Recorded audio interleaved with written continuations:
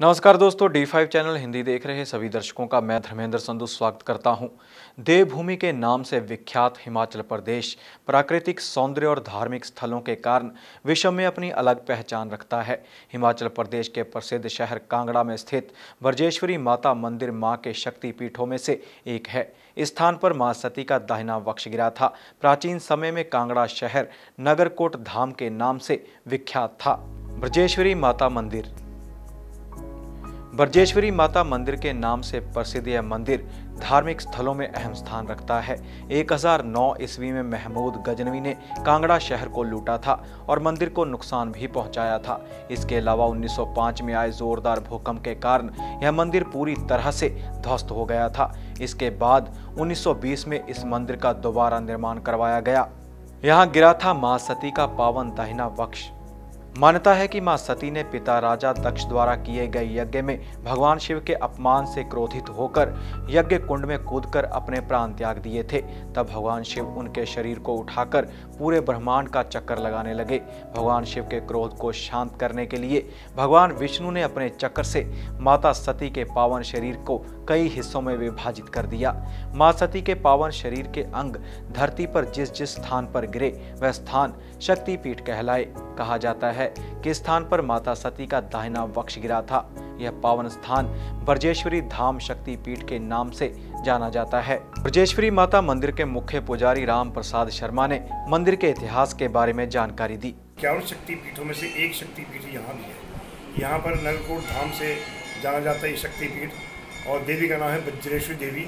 यहाँ सती पार्वती की अंग जहाँ गिरे वहीं देवी प्रकट हुई तो यहाँ बामा गिरा है। Left side of the chest जो महारानी की और यहाँ विराजमान है।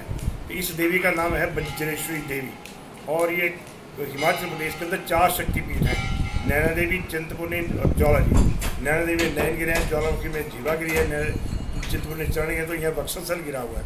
बामांग गिरा है यहाँ के। यहाँ पर इसलिए विजयश्री देवी और नगरोट धाम इसके पुकारा जाता है। ये तो है इसका धार्मिक महत्व। ऐतिहासिक महत्व ये है कि इस आ, मंदिर को महमूद गज़ल ने एक हज़ार उन्नीस में लूटा था। और यहाँ से लूट कर बहुत ही सामान, बहुमूल्य वस्तुएँ ले गया था अफ़गानिस्तान के लिए और कुछ चीज़ें वापस आई थी। दूसरा ऐतिहासिक इतिहास है कि महाराजा रणजीत सिंह छः बार यहाँ आए हैं और छः बार उन्होंने अपने सोने के पुतले चढ़ाए हुए हैं, जो कि इस वक्त भी हमारे इस मंदिर के जो में अभी भी मौजूद हैं। देखा जा सकता है। इसी प्रकार से हमारे पास यहाँ एक शिलालेख है मंदिर के अंदर, जो संबत पाँच का है, जो कि महा, महाराजा प्रताप से जो गजनी से आए थे। उन्होंने यहाँ पर अर्पण किया था, वो वो भी हमारे इस मंदिर के प्रांगण में स्थित है सम्मत पाँच का। आज दो हज़ार छिहत्तर लगा हुआ है। तो इसका मतलब है कि 2000 वर्ष पुरानी कहानी तो सामने नज़र आ रही है। इसका 1905 में यह मंदिर भूकंप के कारण ध्वस्त हो गया था, पूरा शहर तबाह हो गया था। इसका नवनिर्माण 1922 में जाकर दोबारा पूरा हुआ। तो अब ये तीन भागों में मंदिर दिखाया जाता है आपको। पहला भाग जो है वो आप देखेंगे कि सिखों के गुरुद्वारे की तरह है। वो सिखों के धर्म के लिए प्रतीक है। सिखों के एक लोग हैं जो कुछ यहाँ आकर के अपने बच्चों के मुंडन संस्कार करते हैं और उसके कुल देवी मानते हैं। इसी प्रकार से कुछ मुसलमानों की कौम है जो यहाँ आती है। उसके, आप देखेंगे बीच का जो भाग है वो पूरा एक मस्जिद की तरह दिखाई देगा और तीसरा हिंदुओं का है।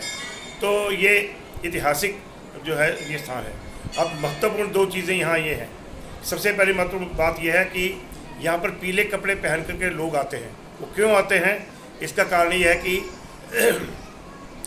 धर्म भक्त ने अपना शीश यहाँ माँ के चरणों में अर्पण किया था, जो कि उत्तर प्रदेश का रहने वाला था। उसी यादगार में आज भी लोग जो हैं, वो पीले कपड़े वस्त्र धारण करके यहाँ आते हैं और अपने बच्चों के मुंडन संस्कार करते हैं, क्योंकि उनकी कुल देवी है तो इस प्रकार से ये उत्तर प्रदेश, राजस्थान और हरियाणा पंजाब के लोग यहाँ पर आते रहते हैं पूरा वर्ष और नवरात्रों में तो विशेष भीड़ रहती है लेकिन अब तो पूरा वर्ष ही अब यात्री से यहाँ पर आना जाना रहता है।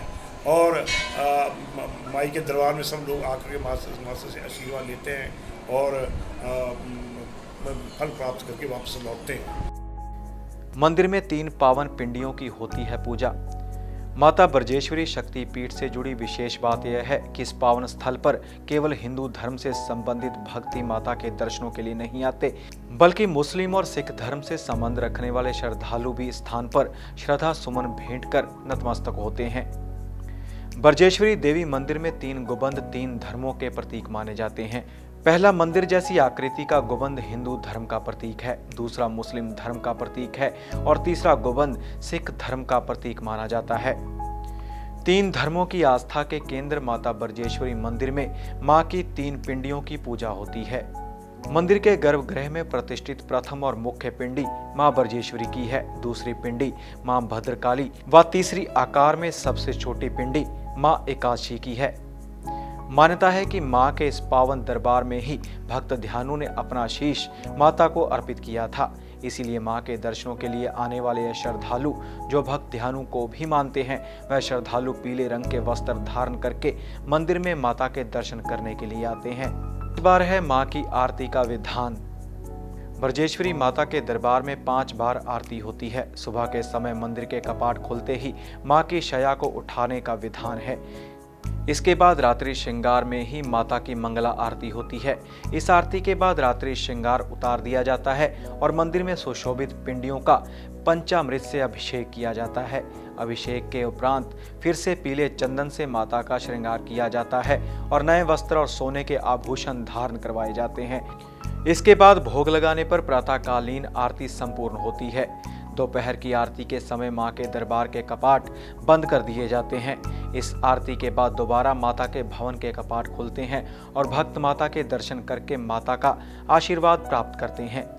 एक बार फिर से शाम के समय सूर्यास्त के बाद भी माता की आरती की जाती है। इस दौरान पावन पिंडियों का पंचामृत से अभिषेक किया जाता है।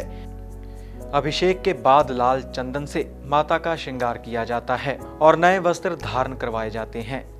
रात के समय पुजारी द्वारा शयन आरती की जाती है। मंदिर में स्थापित है भगवान भैरव की अद्भुत मूर्ति। मंदिर में भगवान भैरव की अद्भुत मूर्ति स्थापित है।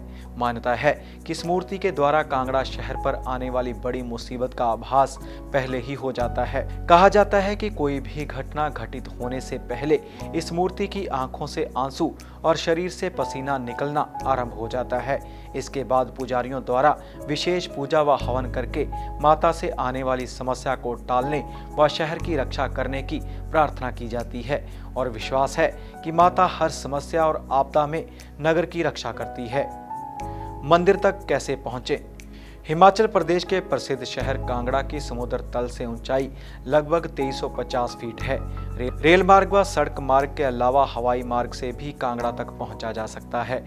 कांगड़ा से तकरीबन 7 किलोमीटर की दूरी पर गगल एयरपोर्ट है। पठानकोट से कांगड़ा की दूरी 90 किलोमीटर के करीब है। पठानकोट से जोगेंद्र नगर तक नैरो गेज रेल ट्रैक पर छोटी रेलगाड़ी चलती है। इसके द्वारा भी कांगड़ा रेलवे स्टेशन तक पहुँचा जा सकता है।